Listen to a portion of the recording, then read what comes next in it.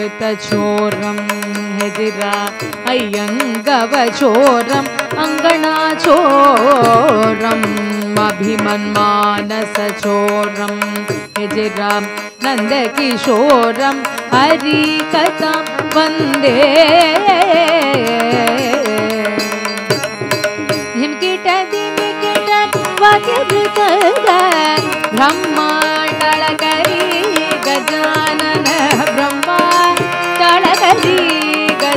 गजानन तांडव नृत्य करी गजानन तांडव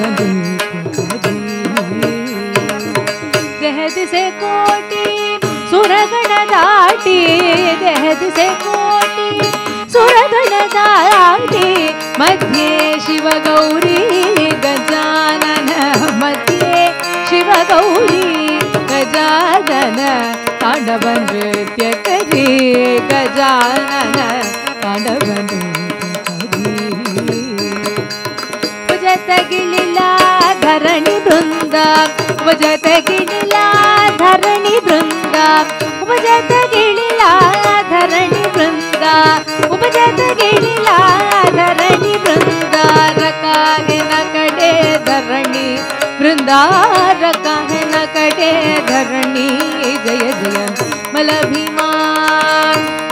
महिमा, मा भारत वगुण महिमा, जय जय बलभीमा देयी तव पति प्रेमा रामा देयी तव पति प्रेमा रामा देयी तव पति प्रेमा रामा देयी तव पति जीवन सुखता मा रामा जीवन सुखता मा बल भीमा बल अभारत गुण महिमा, जय जय बल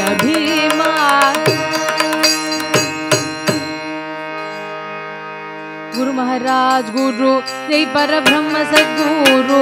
गुरु महाराज, गुरु, जय पर ब्रह्म सदगुरु। जय गुरु महाराज, गुरु, जय पर ब्रह्म सदगुरु। जय गुरु महाराज, गुरु जय पर ब्रह्म सद्गुरु जय गुरु महाराज गुरु जय पर ब्रह्म सद्गुरु जय गुरु महाराज गुरु जय पर ब्रह्म सद्गुरु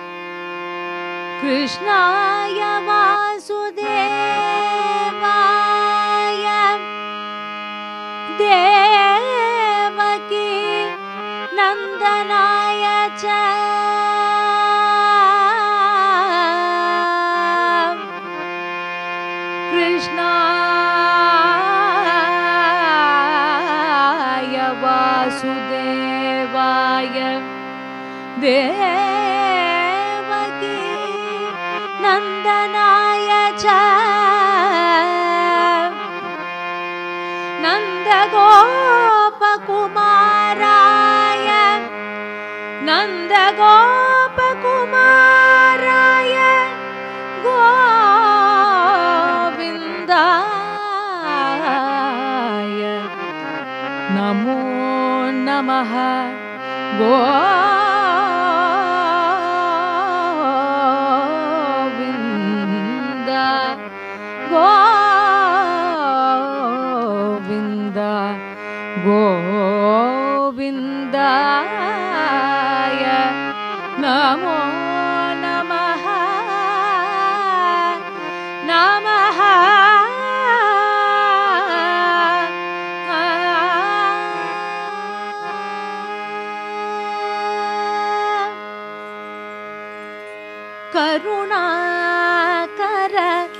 ಕಮಲಾ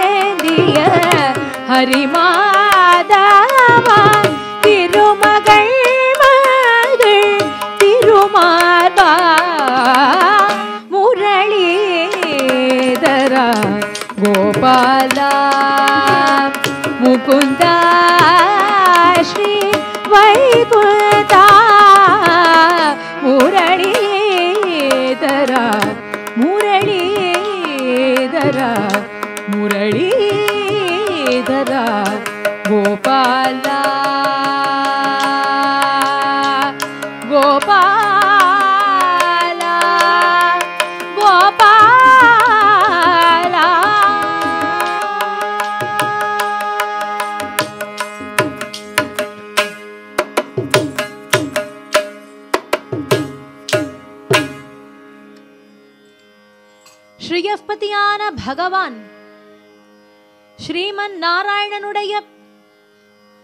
அற்புதமான பல அவதாரங்கள் உண்டு.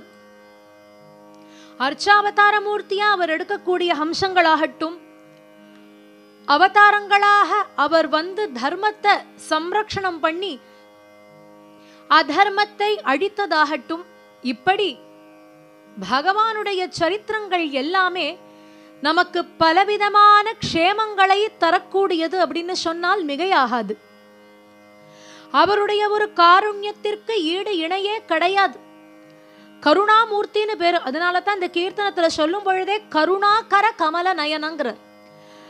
கருணாகரனாக இருக்கக்கூடியவர் கருணையே வடிவமாக இருக்கக்கூடியவர் அப்படி இருக்கக்கூடிய அந்த பகவானுடைய ஒரு சரித்திரத்தை காட்டிலும் நமக்கு க்ஷேமங்களை நல்ல ஒரு சந்துஷ்டியையும் நிம்மதியையும் தரக்கூடியது வேற ஏதாவது இருக்குமான்னு தெரியாது. அப்படி பகவானுடைய சரித்திரங்களே நமக்கு அபரிமிதமான பல பலன்களை தருது. எனினும் அவருடைய ஒவ்வொரு அவதாரத்துக்கும் ஒரு ஒரு விசேஷம் உண்டுன்னு சொல்லுவா. எந்த அவதாரம் எடுத்துக்கோங்க? மத்ஸ்ய அவதாரமாகட்டும் கூர்ம அவதாரமாகட்டும் வராக அவதாரமாகட்டும். இப்படி எந்த அவதாரம் எடுத்துட்டாலும் பகவானுடைய அந்த அவதாரங்கள் எல்லாத்துலேயும் அத்தனை விசேஷங்கள் உண்டு. அதில் ரொம்ப அதிக காலம் இருந்த அவதாரம் எது அப்படின்னு பார்த்தா ரெண்டு அவதாரங்களை பற்றி நம்மளால சொல்ல முடியும். எந்தெந்த அவதாரங்கள்னு பார்த்தா ஒன்று ஸ்ரீ ராம அவதாரம் மற்றொன்று ஸ்ரீ கிருஷ்ண அவதாரம்னு சொல்லக்கூடியது. பாக்கி இருக்கக்கூடிய அவதாரங்கள் எல்லாம் பார்த்தா அந்த நேரத்தில் கரெக்டாக வருவார் வேலையை முடிச்சுட்டு உடனே கிளம்பிடுவார் இல்லையா? அதுவும் நிருசிம்ஹ அவதாரம் எல்லாம் பார்த்தா அந்த க்ஷணம் மாத்திரம் ஹிரண்யகசிபுவை வதம் பண்ணுறதுக்காக வருவார் வந்த உடனே அவ்வளவுதான் முடிச்சுட்டு கிளம்பிடுறார். இப்படி இந்த அவதாரங்கள் எல்லாமே அப்படித்தான் இருக்கு. வாமன அவதாரம் பார்த்தாலும் அப்படித்தானே இருக்கு. மகாபலியானவரை அவருக்கு அனுகிரகம் பண்ணறதுக்குனே வந்தார். இந்த வாமன ரூபமாக வந்து திரிவிக்ரமனாக பெருகி நின்றாலும் அந்த அவதாரத்தினுடைய ஒரு நேர காலம்னு பார்த்தா அது எல்லாம் ரொம்பவே கம்மியாக தான் இருக்கும்.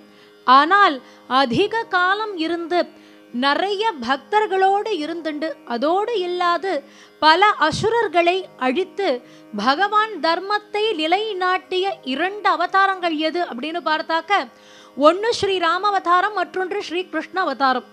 இதுல ஒன்றுக்கொன்று பார்த்தா அவ்வளவு கான்ட்ராஸ்டாக இருக்கும். இதுல சிமிலாரிட்டிஸ்னு பார்க்கக்கூடிய பொருத்தங்கள் ரொம்ப ஸ்வல்பம். பகவான் இந்த அவதாரத்தை எடுத்திருக்கார். அதே போல இதில் மகாலட்சுமியான தாயார் கூட வரா. தர்மத்தை ரட்சணை பண்றார் அதர்மத்தை அழிக்கிறார். இப்படி சொல்லக்கூடிய சிமிலாரிட்டிஸை தவிர இதுல பார்த்தாக்க ஒண்ணுக்கொண்ணு அப்படி வித்தியாசப்பட்டு இருக்கக்கூடிய அவதாரங்கள். ஸ்ரீ ராமபிரானுடைய ஒரு அவதாரத்தின் மேன்மையே என்னன்னு பார்த்தா சத்தியமே ராமம்னு சொல்றார். ஒக மாட்ட ஒக பான ஒக பத்னின்னு விட்டார். இல்லையா? ஒரு வில் ஒரு சொல் ஒரு இல் அப்படிங்கிற மாதிரி எல்லாமே ஒன்று வாக் சுத்தத்துலேருந்து அவர் கொடுத்த வாக்க காப்பாத்துறதுலேருந்து ஒவ்வொன்றுத்துக்கும் அவ்வளவு பிரயத்தனப்பட்டிருக்கார்.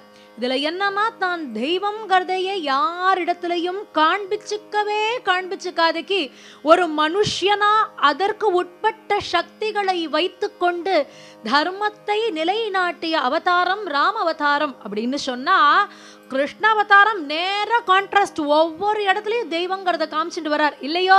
அவதாரம் எடுத்துட்டா அதுவே போருமே நமக்கு. அவதாரத்தை எடுத்துட்டாலே ஆச்சு. தேவகிக்கு குழந்தையா காராகிரகத்தில் பிறகுறார் பிறந்தா அங்கேயே வளர்ந்துருக்கணும். மனுஷிய குழந்தையாக இருந்து ராமர் மாதிரி தான் மனுஷியனாத்தான் இருக்க போகிறோம் அப்படின்னு இருந்தா. ஆனால் என்ன பண்ணுறார் அத்தனை பேருக்கும் ஒரு மாயையை உண்டாக்கினார் இல்லையா? அத்தனை பேருக்கும் ஒரு மயக்கம் ஏற்பட்டு எல்லாரும் தூங்கிட்டு இருக்கா அந்த நேரத்தில். இவர் பிறக்கிற நேரத்துல. அப்ப அத்தனை பேரும் தூங்கின உடனே வசுதேவர் வந்திருக்கிறது சாக்ஷாத் பகவான்னு தெரியறது. அவதாரம் பொழுதே சங்க சக்கர கதா பத்மம்னு தான் அவதாரம் பண்றார் கிருஷ்ணர் அப்படி அவதாரம் பண்ணின குழந்தைய வசுதேவரானவர் அங்கேருந்து அழைச்சிட்டு போய் கொண்டு நந்தகோபுரிடத்துல கொண்டு விடுறார். இது யாருக்குமே தெரியாது. யசோதைக்கு பிறந்திருக்கு ஒரு குழந்தை.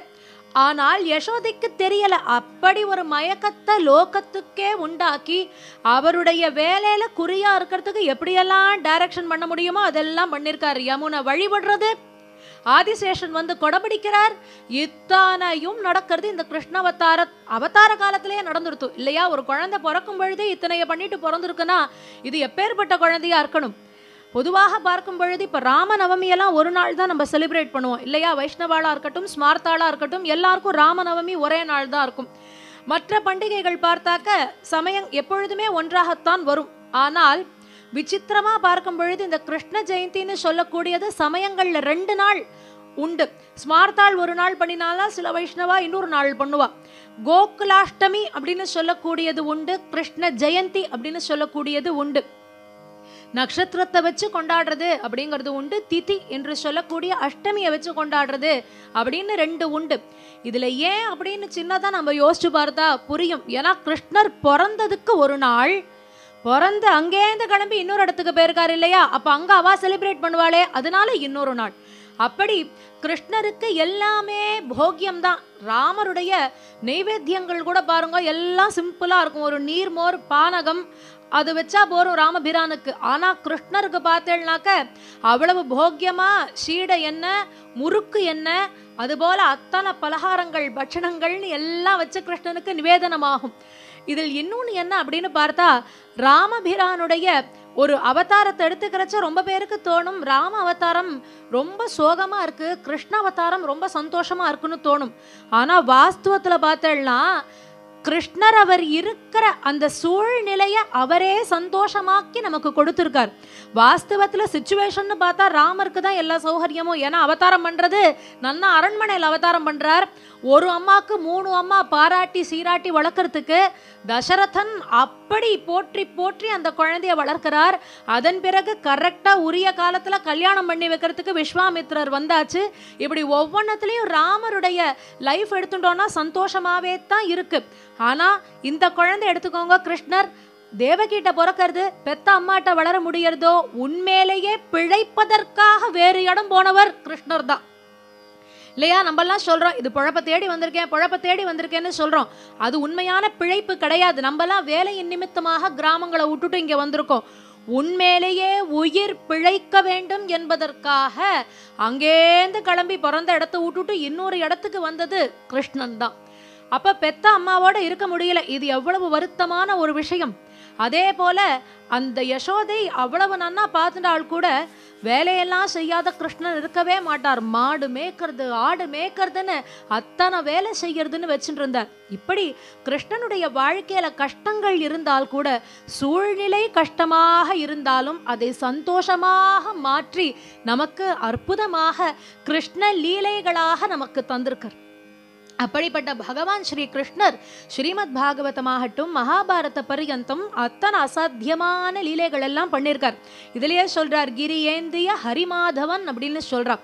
கோவர்தனகிரி லீலையாகட்டும் சுவாமி திரௌபதிய சம்ரக்ஷணம் பண்ணின லீலையாகட்டும் இப்படி சொல்லிண்டே போகலாம். வாயில மண்ணை போட்டுட்டு ஹான்னு திறந்தா மண்ணுனா தெரியணும். அத்தனை உலகத்தையும் அந்த வாய்க்குள்ள காண்பிச்சிருக்கு. முதல் முதல்ல வாய்க்குள்ளேயே ஸ்கிரீனை ஓட்டி காமிச்சவர் அவர்தான். பிளானட்டோரியம் இன்னைக்கு சொல்லிட்டு இருக்கோம் அது அன்னைக்கே பண்ணிட்டார் கிருஷ்ணன். இப்படி கிருஷ்ணவதாரத்துல எவ்வளவு லீலைகள் பண்ணினால் கூட நம்ம இன்றைய தினம் ஸ்மரிக்க போறது என்ன அப்படின்னு பார்த்தா பகவான் ஸ்ரீ கிருஷ்ணன் எத்தனையோ அசாத்தியமான வாகேயக்காரர்களுடைய வாழ்க்கையில பலவிதமான லீலைகள் எல்லாம் பண்ணிருக்காராம். கிருஷ்ணருடைய ஒரு ரூப சௌந்தரியத்திலிருந்து கிருஷ்ணனுடைய மகிமை வரைக்கும் எல்லாத்தையும் எத்தனையோ வாகேயக்காரர்கள் ஸ்மரிச்சிருக்கான் அப்படி பார்க்கும் பொழுது நம்ம ஒரு லிஸ்ட் எடுத்துக்கலாம். எங்கேருந்து ஆரம்பிக்கிறதுன்னு பார்த்தா கிமு மூன்றாம் நூற்றாண்டு முதல் முதல்ல பாடல் வடிவம் அப்படின்னு சொன்னால் கிமு மூன்றாம் நூற்றாண்டு அதாவது தேர்ட் செஞ்சுரி பிஃபோர் கிரைஸ்ட் அப்படின்னு சொல்லக்கூடிய டைம் அப்போ இளங்கோவடிகள் எழுதிய சிலப்பதிகாரம் ஐம்பெரும் காப்பியங்களில் ஒன்றான அந்த சிலப்பதிகாரத்தில் குறவை கூத்து அப்படின்னு சொல்லக்கூடியது இருக்கு.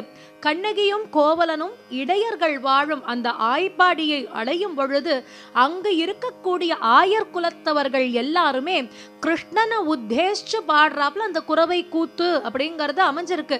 வடவரையை மத்தாக்கி வாசுகியை நானாக்கின்னு அத்தனை அழகா வரும்.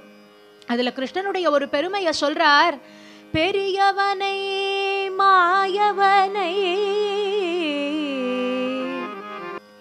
பெரியவனை மாயவனை.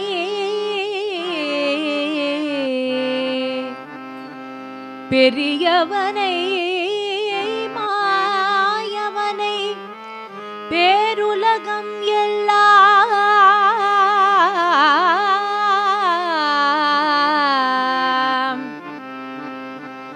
பெரியவனை மாயவனை. பேருலகம் எல்லாம் விரிக்கமல உந்தி உடை.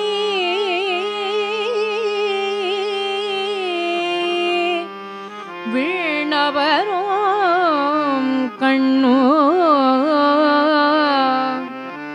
விண்ணவரும்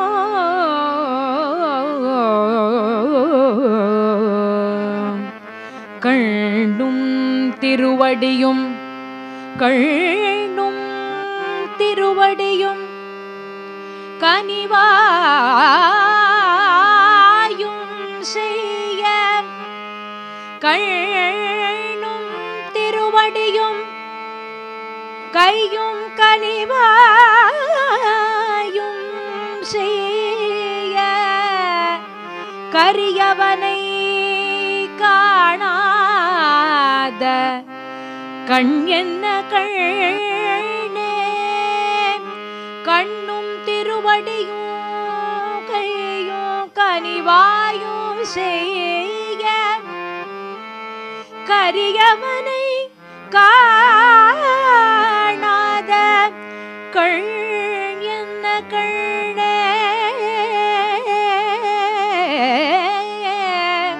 கரியவனை கரியவனை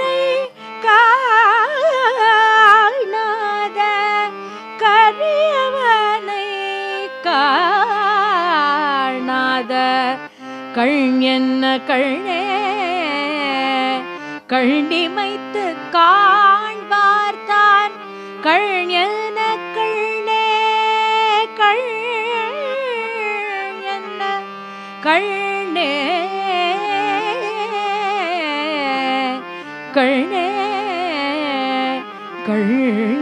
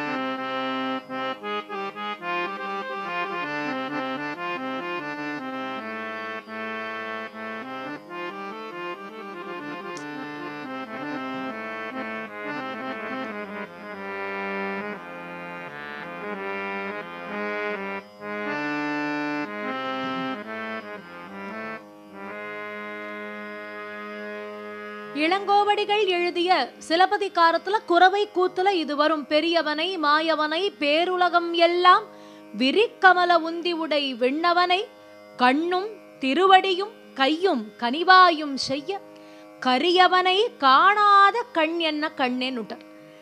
அந்த கரியவனான கிருஷ்ணனை பார்க்காத கண்கள் எதற்கு அப்படின்னு சொல்லி இந்த குறவை கூத்தானது third BC before Christ third செஞ்சுரியில நமக்கு கிடைக்கிறது.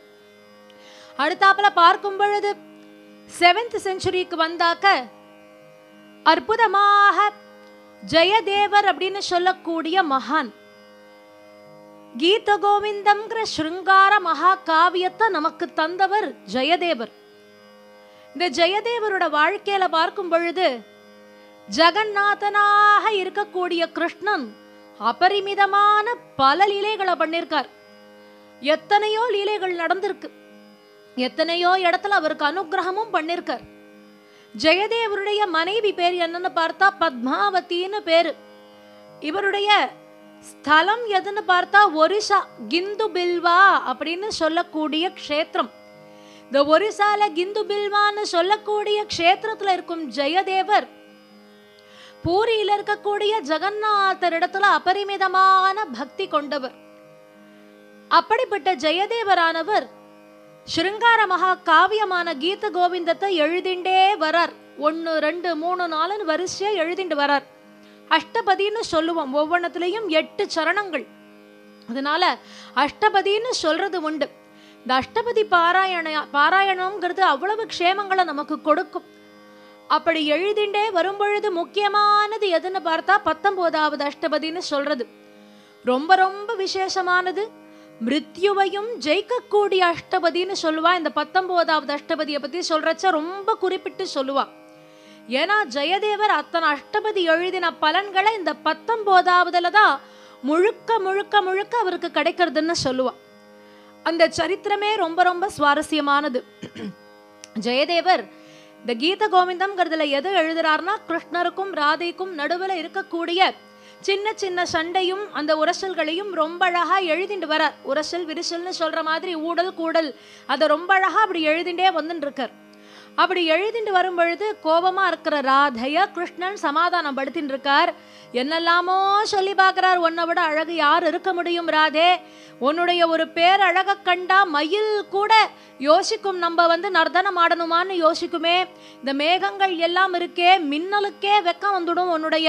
பற்களை பார்த்தாச்சுன்னா அப்படின்னு வரிசையா ராதையை எவ்வளவுலாம் சமாதானம் படுத்த முடியுமோ அத்தனையும் சொல்லி சமாதானப்படுத்திண்டே வரார். ஆனால் அந்த அம்மா எதற்கும் இறங்கி வரதா இல்லை. அந்த அம்மா கோபத்திலேயே தான் இருந்துட்டு இருக்கா அப்போ அற்புதமா ஒரு கற்பனை வருது ஜெயதேவருக்கு. என்ன கற்பனை அப்படின்னு பார்த்தா ராதே உன்னுடைய காலில் நான் விழற உனக்கு நான் நமஸ்காரமே பண்றேன். உன்னுடைய அற்புதமான பாதம் இருக்கே பல்லவம் தாமரை போல இருக்கே அந்த ரெண்டு பாதத்தையும் என்னுடைய சிரசின் மேல நீ வை. அப்பயாவது உன்னுடைய கோபம் குறையுமான பார்க்கலாம். எனக்கு உன்னை பார்க்காத சரீரத்திலும் எண்ணத்திலும் தாபம் அப்படி இருக்கு.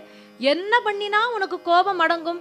பேசாத உன்னுடைய காலை எடுத்து என்னுடைய தலை மேல வை. அப்பயாவது உனக்கு கோபம் இறங்குறதான்னு பார்க்கிறேன். அப்படின்னு எழுதிடுறார். இப்போ இதை எழுதின உடனே ஜெயதேவருக்கு மனசுல தோணித்து அடாடாடா எவ்வளவு பெரிய தப்பு பண்ணிட்டோம் நம்ம? ஆயிரம் இருந்தாலும் கிருஷ்ணன் பரமாத்மா இல்லையா? உலகத்தையே ரட்சிக்கக்கூடிய தெய்வம் கோதை சொல்றச்ச நாராயணனே நமக்கே பறை தருவான்னு பாடுறான்.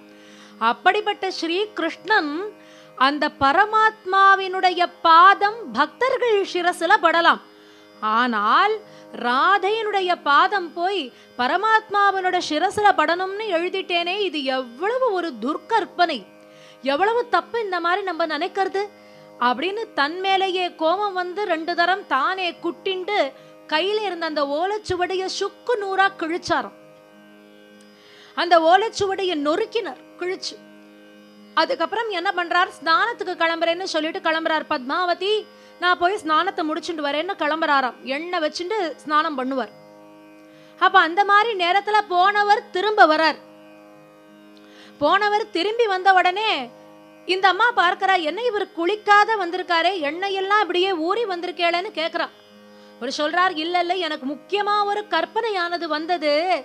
குளிக்க போற நேரத்துல அதனால அந்த கற்பனை மறக்கிறதுக்கு முன்னாடி எழுதணுங்கிறதுக்காகத்தான் ஓடி வந்தேன். நீ போய் உள்ளேந்து ஓலைச்சுவடியை எடுத்துட்டு வான்னு சொல்றாராம். உடனே அந்த அம்மா என்ன பண்றா? உள்ளேந்து போய் ஓலைச்சுவைய ஓலைச்சுவடியை எடுத்துட்டு வந்து ஜெயதேவர்கிட்ட கொடுக்குறான் இவரும் என்ன பண்றார்? எழுதுறார் எழுதிட்டு இதை கொண்டு போய் உள்ள வச்சுடு பத்மாவதி நான் ஸ்நானத்தை முடிச்சுட்டு வரேன்னு ஸ்நானம் ஸ்நானமாறுது மத்தியானம் நன்னா சாப்பிடவும் ஆறுது. சாப்பிட்ட அப்புறம் நமக்கெல்லாம் நன்னா ஒரு தூக்கம் ஒண்ணு வரும். ஜெயதேவருக்கு அந்த நேரத்துல கூட கற்பனை தான் வருமா? அப்ப என்ன பண்றார்? பத்மாவதி உள்ளேந்து எடுத்துட்டு வா அந்த ஓலைச்சுவடிங்கிறார் இந்த அம்மா ஓலைச்சுவடியை எடுத்துட்டு வந்து கொடுத்தா அங்க என்ன ஆச்சரியம்? எந்த வரியை இவர் சுக்குநூறா கிழிச்சு போட்டாரோ அந்த வரி எழுதப்பட்டிருக்கிறத பார்க்கிறார். ஸ்மரகரள கண்டனம் மம சிரசி மழ்டனம். ஸ்மரகரள கண்டனம் மம சிரசி மழ்டனம். தேஹி பத பல்லவம் உதா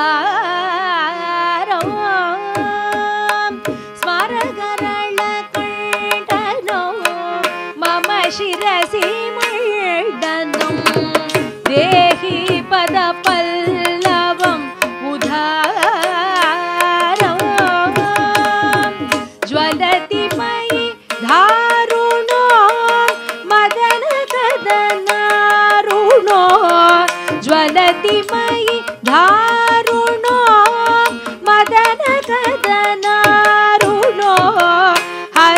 तदुपाद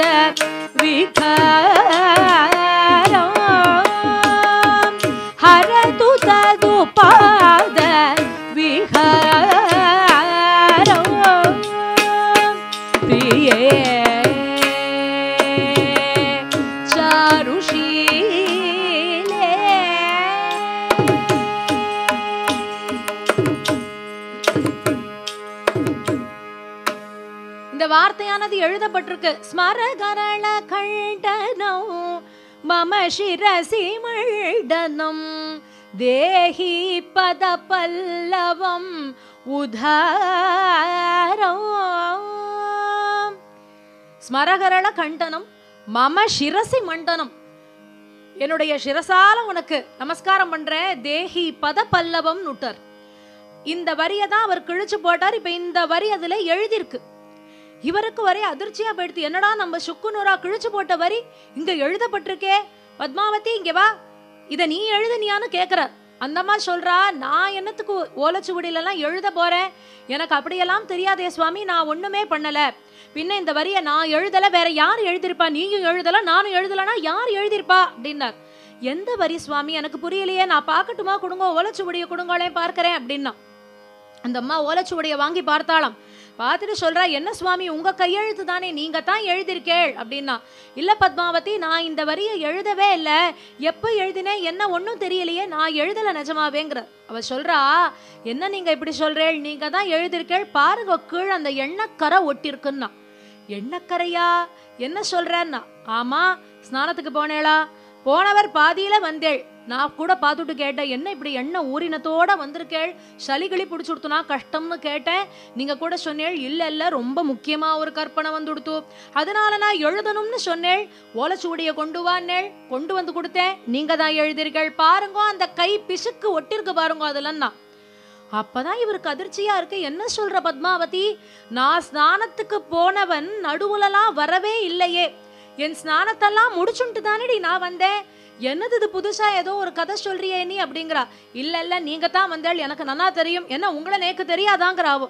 இல்லம்மா நான் வரவே இல்லை. நீ சொல்றது எனக்கு புதிரா இருக்கே எனக்கு என்னன்னே புரியலையே இது அப்படிங்கிறச்ச அப்படி பேசும் பொழுது புரியறது ஜெயதேவராக வந்தது வேற யாரும் கிடையாது. சாக்ஷாத் அந்த ஜெகநாதனான கிருஷ்ணனே வந்திருக்கார். கிருஷ்ணனே ஜெயதேவர் ரூபத்தை எடுத்துட்டு வந்து ஜெயதேவர் வாண்டான்னு சொன்ன அந்த வரியை எழுதியிருக்கார்.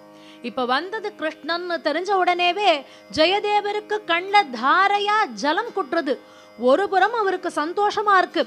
ஏன்னா தான் எழுதினதை பகவான் ஆமோதிச்சுட்டாரேங்கிற மாதிரி ஒரு புறம் சந்தோஷம். ஆனா மற்றொரு புறம் என்ன தெரியுமா தோணித்து? அப்படி சொல்றார் இத்தனை காலமா அவரை பார்க்கணும் பார்க்கணும் பார்க்கணும்னு நான் தவிச்சுட்டு இருக்கேன் ஆனா அந்த கிருஷ்ணன் என் முன்னாடி வந்து நிக்கல. பத்மாவதி உன் முன்னாடி அந்த கிருஷ்ணன் வந்து நின்று இருக்கார் உன்னோட பேசியிருக்கார் உன் கையில ஓலைச்சுவடியை வாங்கிட்டு இருக்கார் எழுதிட்டு திரும்ப உன்கிட்ட கொடுத்துருக்காருனா நீ எப்பேற்பட்ட புண்ணியவதி எப்பேற்பட்ட பாக்கியசாலியா நீ இருந்தா இதெல்லாம் நடந்திருக்குமா அதனால யார் ஒருவர் கிருஷ்ணனை பரிபூர்ணமா தரிசனம் பண்றாளோ அவளும் கிருஷ்ணனும் வேறு வேறு கிடையாது. அதனால என்ன பொறுத்தவரை எப்போ கிருஷ்ணன் பிரத்யக்ஷமா உன் கண் முன்னாடி வந்து நின்னு நீ அவர்கிட்ட தரிசனம் பண்ணி எல்லாம் பண்ணிருக்கியோ நீ இனிமேல் என்னை காட்டிலும் பெரியவளாகத்தான் இருக்கணும். அதனால் உன்னுடைய காலில் நான் விழுந்து நமஸ்காரம் பண்றேன்னு தன் மனைவி காலில் சாஷ்டாங்கமா விழுந்து நமஸ்காரம் பண்றாராம் ஜெயதேவர். அந்த நேரத்துல மேலேந்து ஒரு குரல் கேட்டதான். என்ன ஜெயதேவரே உங்காத்து மாமி நீங்க விழலாம் எங்காத்து மாமிகால்ல நான் விழப்படாதா? அப்படின்னு ஒரு குரல் கேட்டதாம் அப்போ ஜெயதேவர் பார்த்தார் இந்த பத்தொன்பதாவது அஷ்டபதியில பகவானுடைய ஒரு அனுகிரகம் பரிபூர்ணமா இருக்கு. அதற்கு காரணமாக இருந்தவள் பத்மாவதிங்கிறதுனால இதுல ஜெயத்து பத்மாவதி அப்படின்னே எழுதுறார். பத்மாவதினால எனக்கு வெற்றி கிடைச்சிருக்கு அப்படின்னு சொல்லி ஜெயத்து ஜெயதேவ கவி பாரதி அப்படின்னு சொல்லி பத்மாவதியினுடைய பெயரை வச்சு இந்த அஷ்டபதி வழக்கமாக அவருடைய ஸ்ரீ ஜெயதேவ அப்படின்னு தான் அவருடைய முதிரையானதெல்லாம் வரும். ஆனால் இந்த பத்தொன்பதாவது அஷ்டபதிக்கு மட்டும் இப்படி ஒரு விசேஷம் உண்டு அப்படின்னு சொல்லுவா. முதல்ல சொல்றச்ச இது மிருத்யுவையும் ஜெயிச்சிருக்கு அப்படின்னு சொல்லியிருக்கேன். அதற்கும் ஜெயதேவருடைய வாழ்க்கையிலேயே இன்னொரு சம்பவம் நடக்கிறது. அந்த ஊர்ல ஒரு மன்னன் அந்த மன்னனுக்கு ஜெயதேவரிடத்துல ரொம்ப ஒரு அபரிமிதமான பிரீத்தி இருக்கு. மன்னரும் ஜெயதேவரும் சேர்ந்தே இருந்துருப்பா இந்த மன்னனும் பாடல்கள் எல்லாம் எழுதக்கூடியவர்.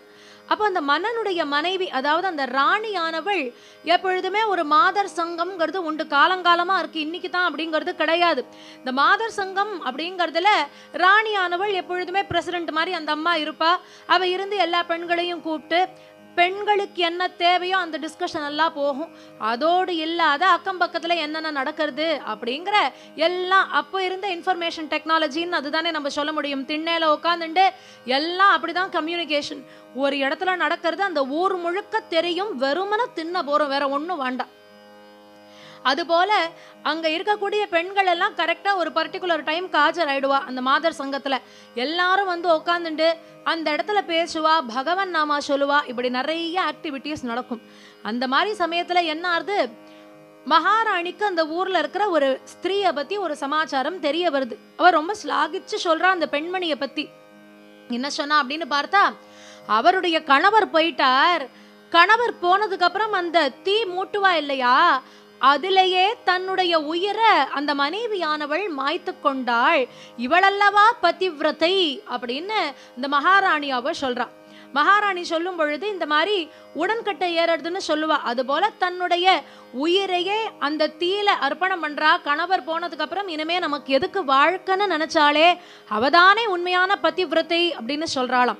உடனே இந்த குரூப்பில் இருக்கிற மத்தவா எல்லாம் ராணி என்ன சொன்னாலும் ஆ அப்படின்னு சொல்கிறதுக்கு ஒரு கோஷ்டி இருக்குமோ இல்லையோ?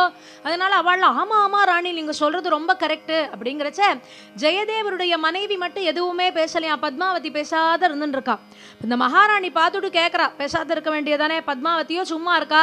விடாதிக்கு என்ன பத்மாவதி நான் சொல்கிறது கரெக்ட் தானேன்னு கேட்டாளாம். அவள் ஒரு சிரிப்பு சிரிச்சுட்டு சொன்னாலாம் இல்லை என்னை பொறுத்தவரை அந்த அம்மா பதிவிரத்தை கிடையாதுன்னாலாம் எப்படி நீ அப்படி சொல்ற? ஆமா உடன்கட்டை ஏறத பத்தி எனக்கு நான் சொல்ல விரும்பல. ஆனால் உண்மையான பதிவிரத்தைங்கிறது யாரு தெரியுமா?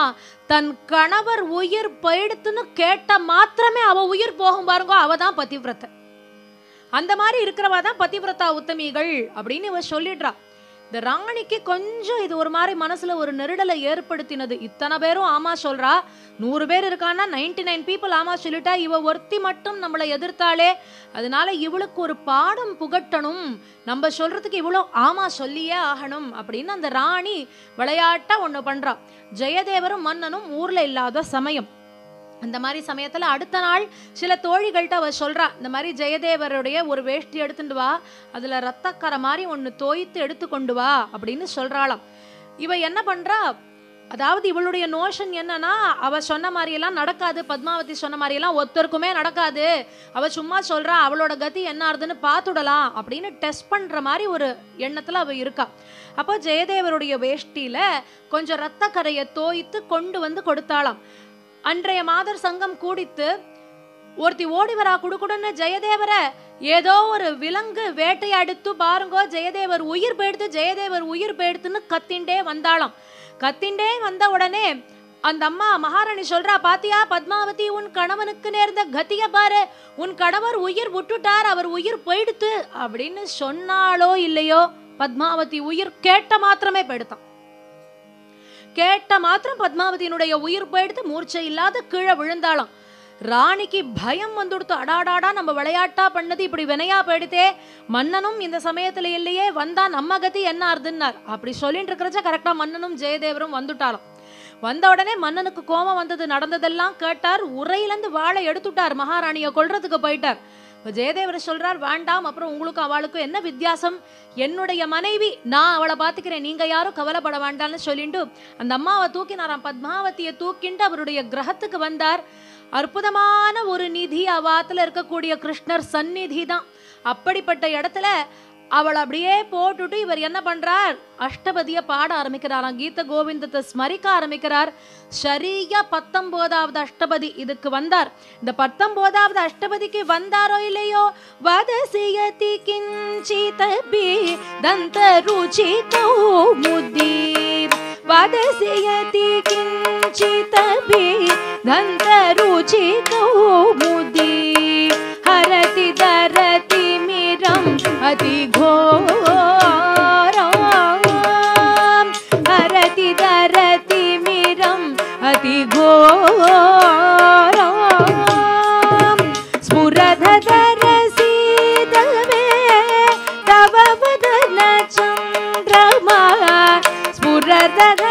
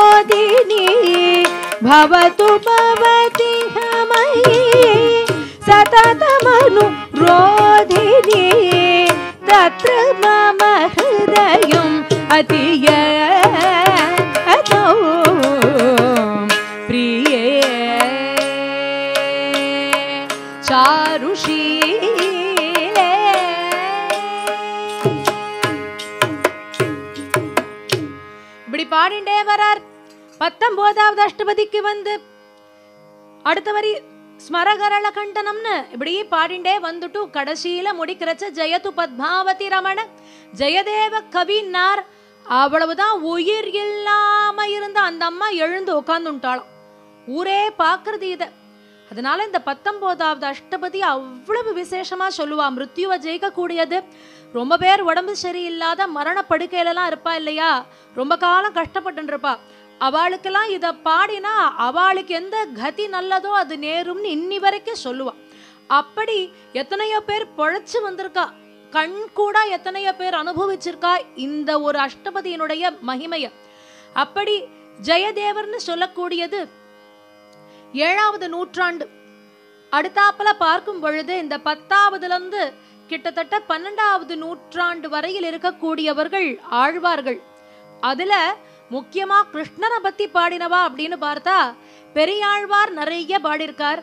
கோதைன்னு சொல்லக்கூடிய ஆண்டாள் அற்புதமா பாமாலைகளை நமக்கு தந்திருக்கா கிருஷ்ணன் பேர்ல. நம்மாழ்வார் அத்தனை பாசுரங்கள் கிருஷ்ணன் மேல கொட்டிருக்கார் நமக்காக. அப்படி கிருஷ்ணர் மேல இவர்கள் எழுதிய பாசுரங்கள் எல்லாத்தையும் ஸ்மரித்து கொண்டே போகலாம். அதுல சூடி கொடுத்த சுடற்கொடி அப்படின்னு அழைக்கப்படக்கூடிய கோதையானவள் பெரியாழ்வாருக்கு பெண்ணாக ஸ்ரீவில்லிபுத்தூர்னு சொல்லக்கூடிய க்ஷேத்திரத்தில் அவதாரம் பண்ணுறா துளசி வனத்தில் சுகந்தமான துளசி செடிகளுக்கு நடுவுல பூதேவியினுடைய அம்சமாக அவளுடைய ஒரு திரு அவதாரமானது நிகழ்கின்றது. கோதைன்னு பெயர் வைக்கிறார். வடமொழியில சொல்லும் பொழுது கோதா அப்படின்னு சொல்லுவா. அதாவது இந்த கோதாங்கிற பேருக்கு ஒரு வியாக்கரணம் சொல்லிண்டே போறார். முக்கூறார் சொல்றச்ச நமக்கு அசாத்தியமான ஒன்றை சொல்றார். எப்படின்னு பார்த்தாக்க புண்ணிய நதிகள் அப்படின்னு சொன்னாக்க கங்கேச்ச யமுனே அப்படின்னு ஆரம்பிப்போம். நம்ம அந்த சப்த தீர்த்தங்கள்னு சொல்லக்கூடியவர்கள் ரொம்ப ரொம்ப ரொம்ப மகோன்னதமானவர்கள். நாம் செய்த பாவங்கள் எல்லாத்தையும் அறவே நம்மள்டந்து தள்ளி விடக்கூடியவா இவாள்லாம். அப்படி கங்கை யமுனைன்னு அந்த நதிகளை பத்தி சொல்லிட்டு வரா. இதுல கங்கை என்பவள் விஷ்ணுவனுடைய பாதத்திலிருந்து வரக்கூடியவ தான் திருவிர் திருவிக்கிரமணா சுவாமி அப்படி நிற்கும் பொழுது சத்தியலோகத்தில் இருக்கக்கூடிய பிரம்மதேவர் வான்னதி அப்படின்னு கங்கைக்கு இன்னொரு பேர் உண்டு. அவர் என்ன பண்றார்? சுவாமியினுடைய பாதத்துக்கு மகாவிஷ்ணுவனுடைய பாதத்துக்கு பூஜை பண்றார். அப்படி நீர் வார்த்து பூஜை பண்ணும் பொழுது சுவாமியினுடைய பாதத்திலிருந்து வானத்திலிருந்து வந்த நதி அப்படிங்கிறதுனால வான்னதி அந்த விஷ்ணு பாதத்துல இருந்து தான் நதியான கங்கையானவள் வரா. அதனால தான் கிளேஷியருக்கு அப்புறம் அவ முதல்ல நுழையிற. இடத்துக்கு ஹரித்வார் அப்படின்னு பேர் அந்த இடத்துக்கு. அப்படி அவ உள்ள நுழையறா கங்கை ஆனவள் அதனால முதல்ல இடம் பிடிச்சுட்டா. அடுத்தாப்புல இந்த ரெண்டு நதிகள் அவதாரங்களோட சம்பந்தப்பட்டு இருக்கு. எப்படின்னு பார்த்தா ராம அவதாரத்தோட சம்பந்தப்பட்ட நதி கோதாவரி. கிருஷ்ண அவதாரத்தோட சம்பந்தப்பட்ட நதி எதுன்னு பார்த்தா யமுனை. இதுல யமுனைக்கு கம்சனை நினைச்சு கொஞ்சம் கூட பயம் இல்லை. ஏன்னா அந்த அம்மாவுக்கு தெரியும் எந்த கம்சன் நம்மளை என்ன பண்ணிட முடியும்? பரமாத்மா நம்ம பக்கம் இருக்கும் பொழுது யாராவது நம்மள ஏதாவது பண்ணிட முடியுமா? அப்படின்னு அவ வழி விட்டுட்டா பகவானுக்கு.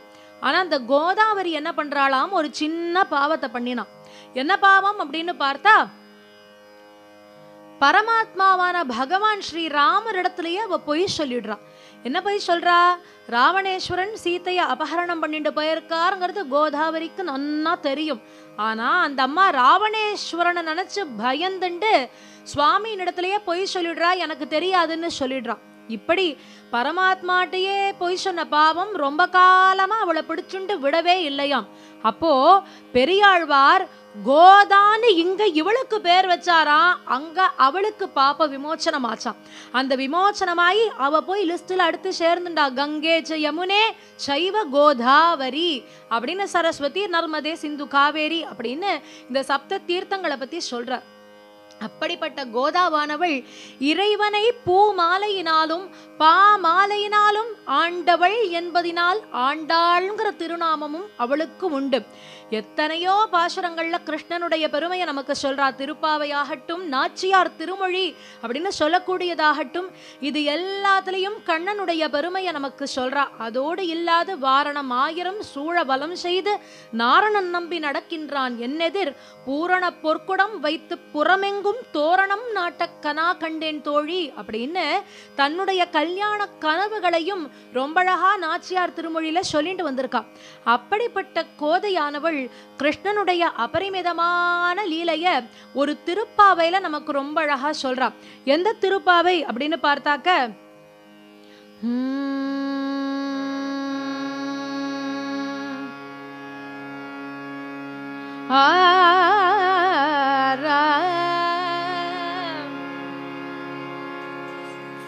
ஏற்ற கலங்கள் எதிர் பொங்கி மீதழிப்ப ஏற்ற கலங்கள். எதிர் பொங்கி மீதழிப்ப மாற்றாதே பால் சொரியும் வள்ளல் பெரும் பசுக்கள். ஏற்ற கலங்கள். எதிர் பொங்கி மீதழிப்ப மாற்றாதே பால் சொரியும் வள்ளல் பெரும் பசுக்கள்.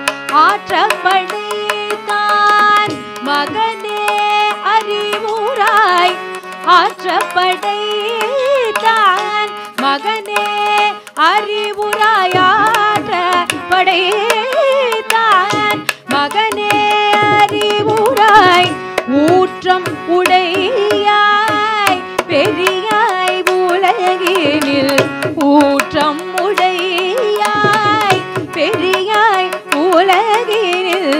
தோற்றமாய் நின்ற சுடரே.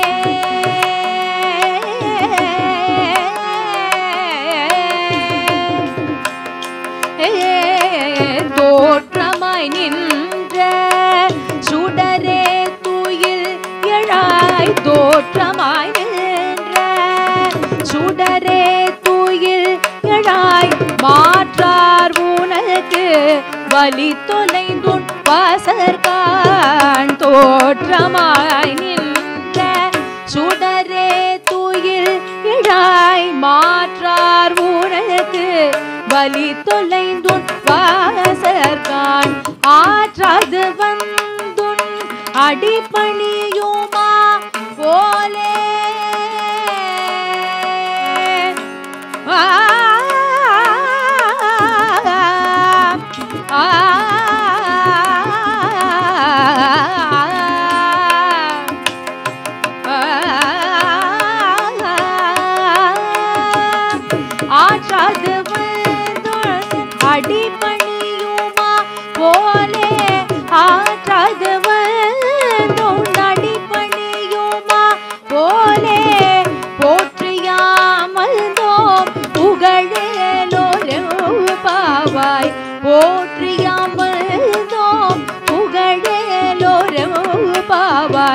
பாவாய்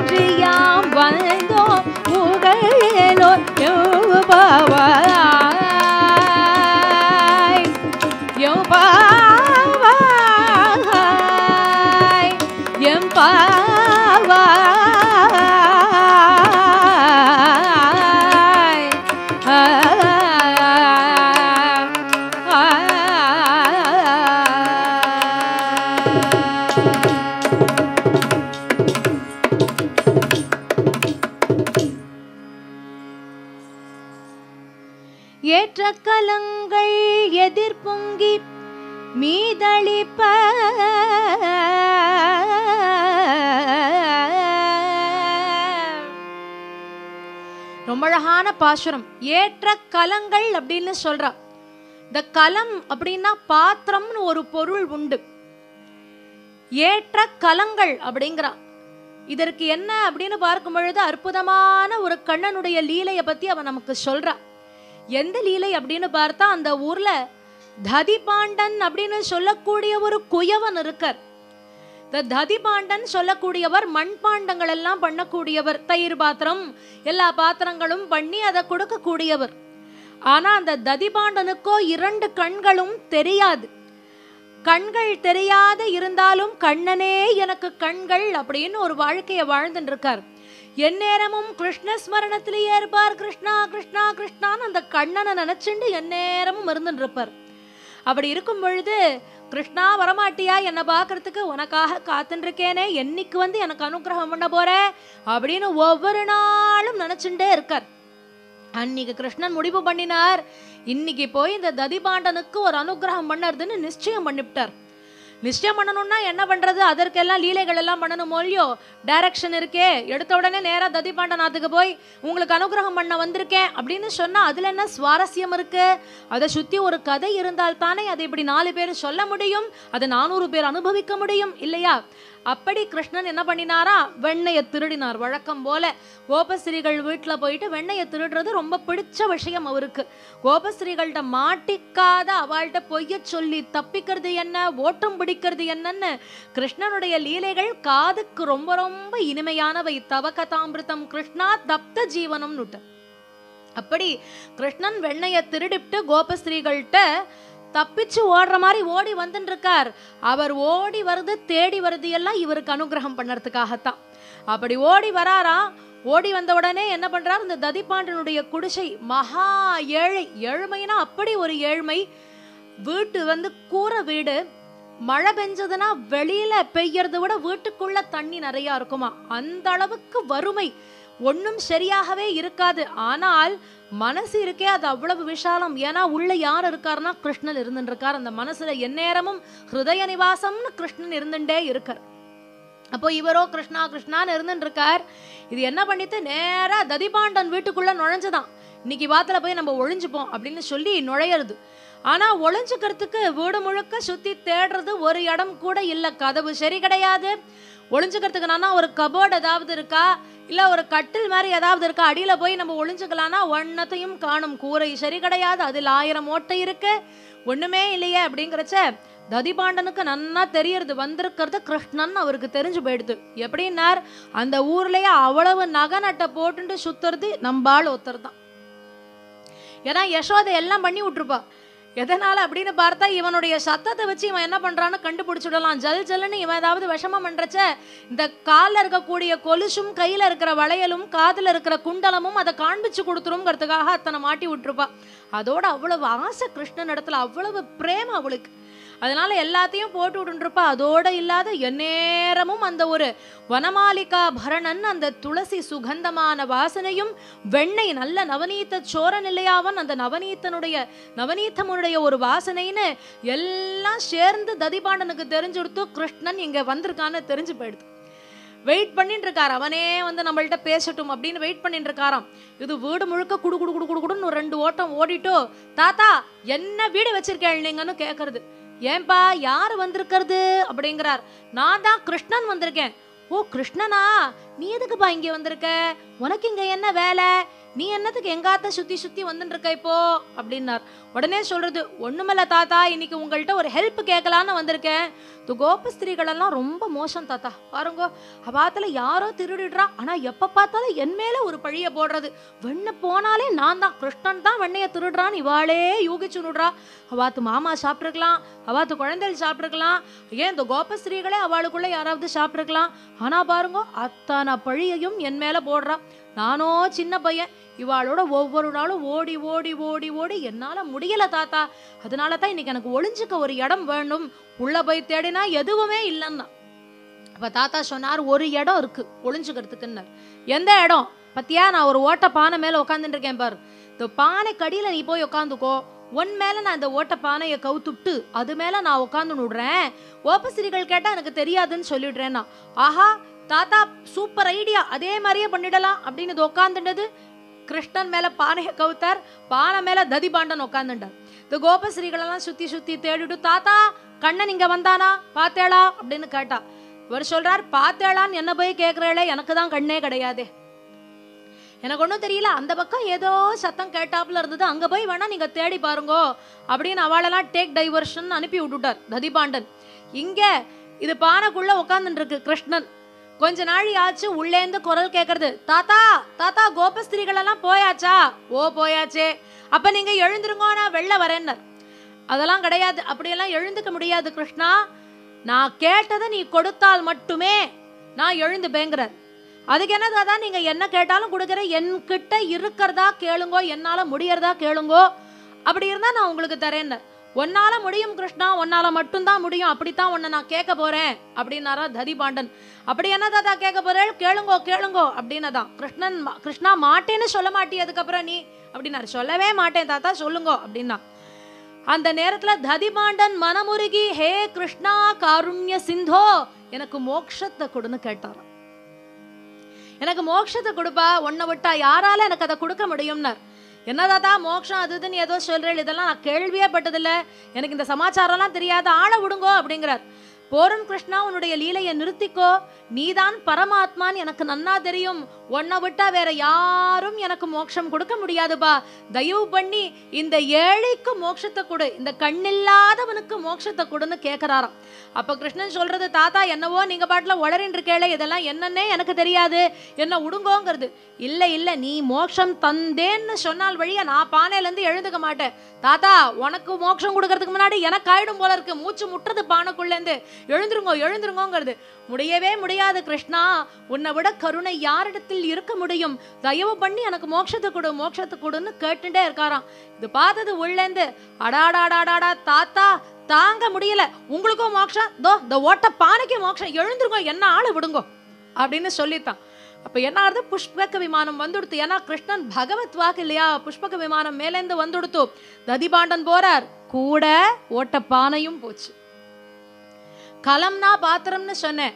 கலங்கள்னு சொல்லக்கூடிய பாத்திரங்களுக்கு கூட ஏற்றத்தை கொடுத்த கண்ணனுடைய லீலையை என்னவென்று சொல்வது? ஏற்ற கலங்கள் எதிர்பொங்கி மீதளிப்பன்னு இதைத்தான் கோதை அற்புதமாக இந்த திருப்பாவையில நமக்கு சொல்லியிருக்கா இப்படி ததிபாண்டனுக்கு மட்டுமல்ல எத்தனையோ பேர் வாழ்க்கையில கிருஷ்ணன் போய் லீலை பண்ணின அழகு இருக்கே அது கொஞ்சம் நஞ்சம் கிடையாது. அப்படியே வரிசையா நம்ம டைம் லைன் படி பார்த்துட்டு வந்தோம்னாக்க இந்த டென் டு டுவெல் ஆழ்வார்கள் அப்படிங்கிறத நம்ம பார்த்தோம். அடுத்தாப்புல இந்த ஃபிஃப்டீன்த் செஞ்சுரி பார்க்கும் பொழுது தாசர்கள்னு சொல்லக்கூடியவா புரந்தரதாசர் பரியந்தம் முதல்ல அஷ்டதாசர்கள் எட்டு பேர். அதுக்கப்புறம் ஷோடச தாசர்கள்னு சொல்லக்கூடிய பதினாறு தாசர்கள். அதுல மகான் ஸ்ரீ ராகவேந்திர சுவாமியும் ஒன்று அந்த பதினாறு தாசர்கள்ல.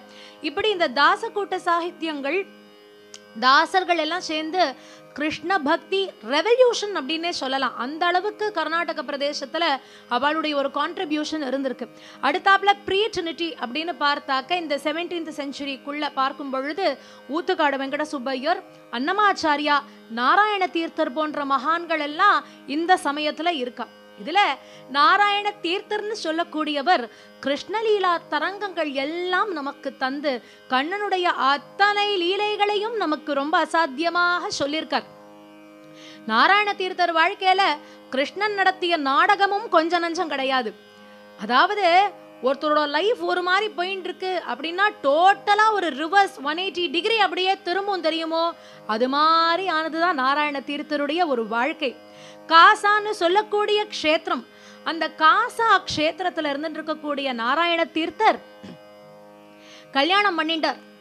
கல்யாணம் பண்ணிட்டு சம்சார வாழ்க்கையில அவ்வளவு சௌக்கியமா இருந்துட்டு இருக்கார் அதாவது அவருடைய மனைவி எப்படிப்பட்டவள்னு பார்த்தா கணவன் சேவையே கண்ணன் சேவைன்னு வாழ்ந்துட்டு இருக்கா கணவனுக்கு சேவை பண்ணணும். அவர் மனசுல நினைச்சாலே பண்ணிடணும். அவர் வாயால சொல்ற வரைக்கும் வெயிட் பண்ணவே மாட்டாளாம்.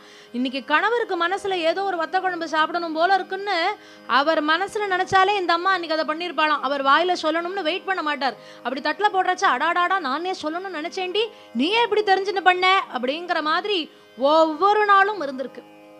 அவ்வளவு கோபியமா குடும்பம் நடந்துட்டு இருக்கார் ரொம்ப அந்யோன்யமா ரொம்ப சந்தோஷமா ரெண்டு பேரும் வாழ்ந்துட்டு இருக்கா இவர் என்ன பண்ணுவார்? அந்தனர் அப்படிங்கிறதுனால பல ஊருக்கு போயிட்டு வந்து ஹோமங்கள் எல்லாம் போய் பண்ணி வச்சிருது ஒரு வழக்கமா வச்சுட்டு இருந்தார் அப்போ என்ன ஆகுது? ஒரு நாள் கிளம்புறார். மனைவியிட்ட சொல்லிட்டு நான் ஊருக்கு இந்த மாதிரி போயிட்டு வரேன் வந்துடுவேன். ரெண்டு நாள்ல வந்துடுவேன் எல்லாம் சொல்லிட்டு இவர் கிளம்புறார்.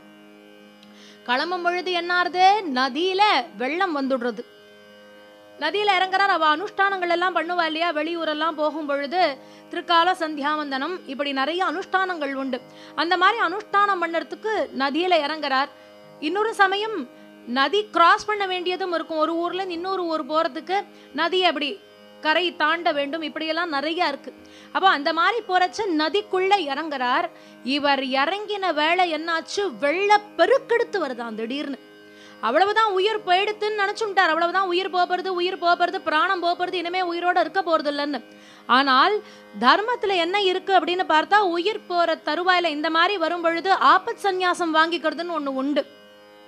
கிரகஸ்தாசிரமத்திலேருந்து மோட்ச மார்க்கத்துக்கு போகணும் இல்லையா? வானப்பிரஸ்தம் சந்நியாசம் அப்படின்னு சொல்லி அந்த ரூட் இருக்குது அதில் என்ன பண்ணிப்பா? இந்த மாதிரி அவள் உயிர் போகிற ஒரு தருவாய் வருதுன்னு அவளுக்கு ஒரு உணர்வு ஏற்பட்டதுன்னா உடனே ஆபத் சந்நியாசம் வாங்கின்றுவா. அந்த ஆபத் சந்நியாசம் வாங்கிட்டா அவளுக்கு மோட்சம் கிடச்சிரும். அந்த மந்திரத்தை சொல்லி அவளுடைய இந்த பூனல் அப்படின்னு சொல்லக்கூடியதை எடுத்து போடுவா. அதை பண்ணிட்டாக்கா அவளுக்கு சந்நியாசம் வாங்கிட்டாச்சுன்னா மோட்சம் அப்படின்னு ஒரு ஐதீகம் உண்டு.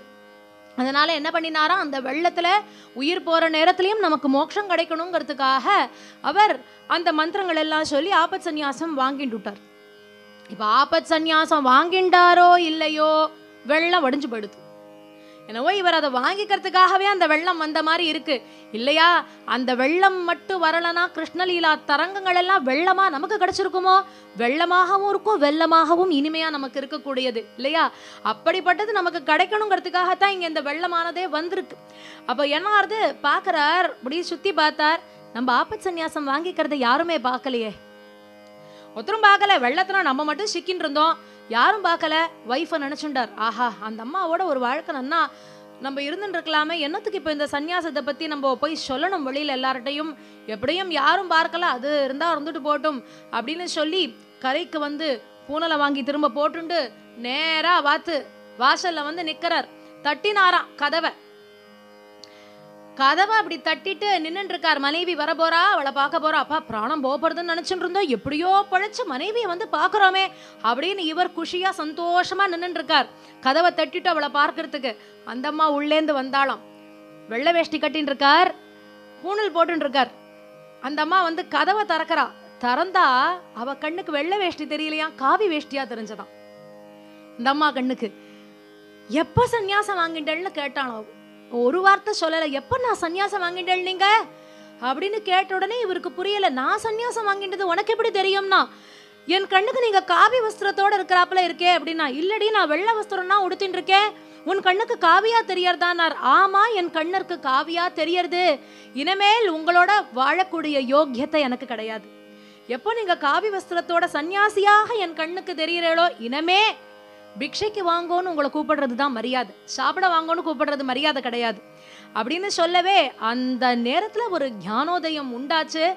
நம்ம நினச்சிட்டு இருக்கோம் யாரும் பார்க்கலன்னு. ஆனா பகவான் இப்படி ஒரு லீலையை நிகழ்த்தணும்னு நினச்சுட்டார். வேதனை ஆனா மனசுல. ஏன்னா இந்த சந்நியாசம் அவர் இஷ்டப்பட்டு ஏத்துண்டது கிடையாது. அழகான மனைவி நல்ல அற்புதமா அன்பா இருக்கக்கூடிய மனைவியை விட்டுட்டு கிளம்பணும்னா அது எவ்வளவு அந்த இடத்துல மைண்ட் ஒரு கான்ட்ரடிக்ஷன் ஏற்படும். அவ்வளவு கிளேஷத்தோட கிளம்பினாரா? கிளம்பி திருப்பதிக்கு வந்துட்டார். திருப்பதியில வந்து அங்கேயாவது இதுக்கு ஒரு விமோச்சனம் நமக்கு கிடைக்கிறதா? மனசுல எல்லாம் சரியா இருந்தாங்கிறதுக்காக திருப்பதி வரார். அங்க இருந்தா அவருக்கு வேலைக்கு சாப்பாடு கூட கிடைக்கலையாம். ரொம்ப வேதனைப்பட்டு இருக்கார் இந்த மாதிரி ஆயிடுத்தே இந்த மாதிரி ஆயிடுத்தேங்கிறச்ச அப்பதான் நன்னா ஒரு பையன் வேற என்ன பண்றான்? நேரா இவர் கண் முன்னாடி இலைய போட்டுண்டு அத்தனை சாப்பாடு பதார்த்தங்களை வச்சுட்டு நன்னா சாப்பிட்டு இருக்கானாம் இவர் பார்த்துட்டே இருக்கார். பார்த்துட்டே இருக்கிறச்ச என்ன சொல்றார்? வயித்த வலிக்கிறதான்னு கேட்டாராம். அந்த குழந்தைய பார்த்து வயித்த வலிக்கிறதா நோக்கு? அப்படின்னார். அதாவது இவ்வளவு சாப்பிட்றியே பார்க்க வச்சு சாப்பிட்றியேங்கிற மாதிரி கேட்காம உனக்கு வயித்த வலிக்கிறதா? அப்படின்னு கேட்டார். அந்த குழந்தை சொல்லித்து எனக்கு வைத்த வலியா? அப்படின்னதோ இல்லையோ இவருக்கு வைத்த வலி வந்து வந்தது வேற யாரும் கிடையாது. பகவான் தான். அத்தனை லீலையும் அவர் தான் பண்ணிட்டு இருக்கார் அப்ப இவருக்கு வைத்த வலி வந்த உடனே துடிக்கிறார். என்ன பண்றதுன்னு தெரியல. அங்கேந்து திருப்பதியிலேருந்து இறங்குறார் திரும்ப. இறங்கி நடுக்காவேரின்னு சொல்றோம் இல்லையா? அங்க வந்துடுறார். நடுக்காவேரியில வந்து இன்னைக்கும் இருக்கு. பிள்ளையார் கோவில் ஒன்று இருக்கு. அந்த பிள்ளையார் கோவில் அதனுடைய இடத்துல வந்து அப்படியே படுத்துட்டாராம். சுருண்டு படுத்துட்டார். பகவானே நான் என்ன பண்ணுவேன்? அப்போ அன்று இரவு அவருக்கு கனவுல ஒரு வாக்கார்து கார்த்தால எழுந்த உடனே எதை நீங்க முதல்ல பாக்குறீங்களோ அதை பின்பற்றி செல்லுங்கள். அதுவே உங்களுக்கு வழி. இனிமே வாழ்க்கைக்குன்னு சொல்ல அடுத்த நாள் கார்த்தால கண் முழிச்ச உடனே ஒரு ஸ்வேத வராகமானது தெரியறது இவர் எங்கேருந்து வரார்? வராகபுரி ஆதி வராகபுரிங்கிறது திருப்பதி தானே. அங்க வராக க்ஷேத்திரம் தானே. முதல்ல வந்தது வராக சுவாமி அதுக்கப்புறம் தான் திருப்பதி ஸ்ரீனிவாச பெருமாள் அப்படின்னு சொல்லக்கூடியவர் அங்க வரார். முதல்ல வந்தவர் வராக சுவாமி தான். அதனால பகவானே ஸ்வேத வராகனாக இங்க வருகின்றார். அந்த வராகத்தை இவர் பின்பற்றிண்டே வரார். வந்த உடனே அது ஒரு கோவிலுக்குள்ள போய் அப்படி மறையறது. பகவான் ஸ்வேதவராகராக வந்து அந்த இடத்துல மறைஞ்சதுனால அந்த ஊருக்கே வரகூர் அப்படிங்கிற பெயரும் வந்தது. உள்ள போறார் இவரும் அந்த கோவிலுக்குள்ள போறார். அந்த ஸ்வேதவராகமானது அந்த கோவிலுக்குள்ளே போற போன உடனே கர்ப்ப கிரகத்துக்குள்ள போய் மறைஞ்சு போயிடுறது. அப்போ இவருக்கு தெரியறது வந்தது பகவான் தான் எதற்கு நம்மளை இங்க இழுத்துன்னு வந்திருக்கார்? என்ன ஒண்ணும் புரியலையே. அப்படிங்கிறச்ச உள்ளேந்து குரல் கேட்கறது கிருஷ்ணனுடைய லீலைகள் எல்லாத்தையும் கீர்த்தனங்களாக எழுதுங்கோ அப்படின்னு சொல்ல தரங்கங்கள்னு சொல்லி கிருஷ்ணலீலா தரங்கினி அத்தனை கீர்த்தனங்கள் அத்தனை லீலைகள் ருக்மிணி கல்யாணத்துக்கெல்லாம் நாராயண தீர்த்தருடைய கீர்த்தனங்களை வச்சுட்டு அத்தனை சொல்ல முடியும். அவ்வளவு ஒவ்வொரு பத்ததிக்கு ஏத்தது போல அதே போல அவருடைய லீலை எது எடுத்துண்டாலும் அந்த லீலைக்கெல்லாம் அற்புதமாக கீர்த்தனங்களை எழுதிட்டு வரார். அப்படிப்பட்ட நாராயண தீர்த்தருடைய கீர்த்தனத்துல சொல்லும் பொழுதே தாமோ அப்படி லீலைகளை பத்தி சொல்லும் பொழுது ஒரு கீர்த்தனத்துல ரொம்ப அழகா சொல்றார் தாமோதர தாவக பரபாவமகம் சதா ஜானே தாமோதர தாவக பரபாவமகம் சதா ஜானே Damodara தாவக பரபாவமகம்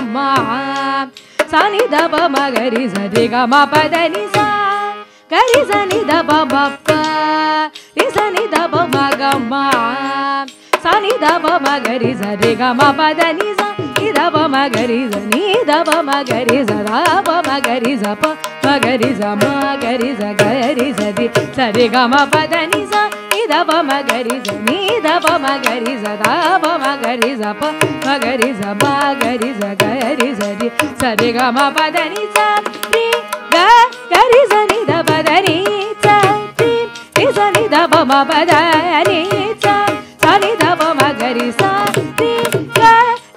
ni da ba ni sa ri ri ni da ba ma ni sa da ba ma ಮ ಗರಿ ಸರಿ ಗ ಮ ಪ ಮ ಗರಿ ಗ ಮ ಪ ಸ ನಿ ದಬ ಮ ದ ನಿ ದಾಮೋದರ ತಾವಕ ಪರ ಭಾವ ಮಹೋ ಸದಾ ಜಾನೆ ದಾಮೋದರ ತಾವಕ ಪರ ಭಾವ ಮಹೋ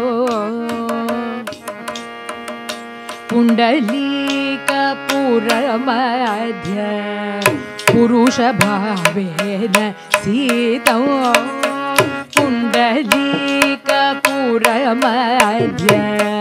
पुरुषभावेन सीतौ चण्डभानुकोटिप्रकाश चिद्गनाकाशौ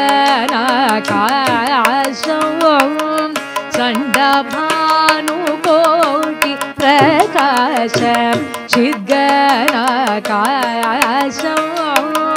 पण्डित परिभा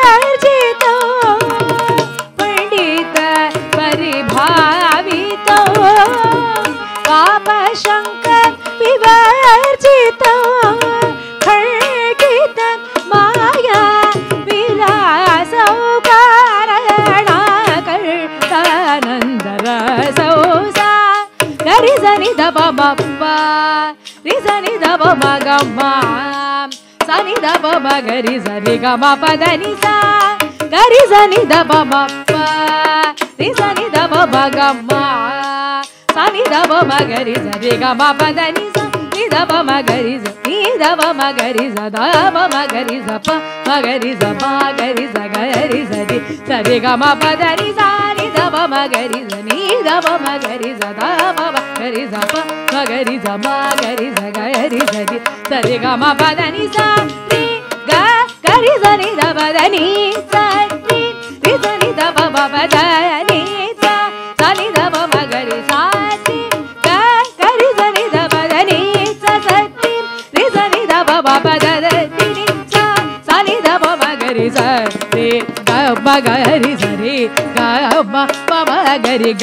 ம ப சனி தவ பத நீ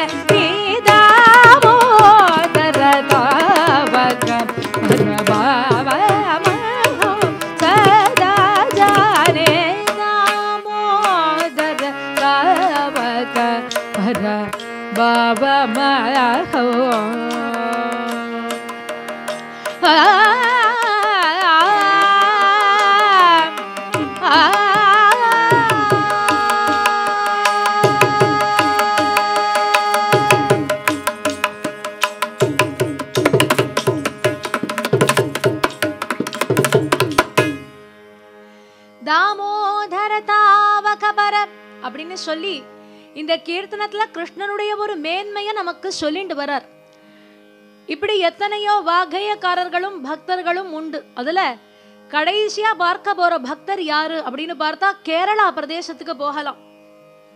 இந்த கேரளா பிரதேசத்துக்கு போயாச்சு அப்படின்னு சொன்னா ஸ்ரீமன் நாராயணியம் எழுதிய நாராயண பட்டத்ரி பரியந்தம் ரியமன் நம்பியாகட்டும் பூந்தானமாகட்டும் இப்படி சுவாதி திருநாள் மகாராஜான்னு எத்தனையோ வாகையக்காரர்கள் கண்ணனுடைய பெருமையை நமக்கு கொடுத்துருக்கா. அதுல பூந்தானமுடைய ஒரு சரித்திரமானது ரோமாஞ்சனம் இல்லாத நமக்கு இருக்கவே முடியாது.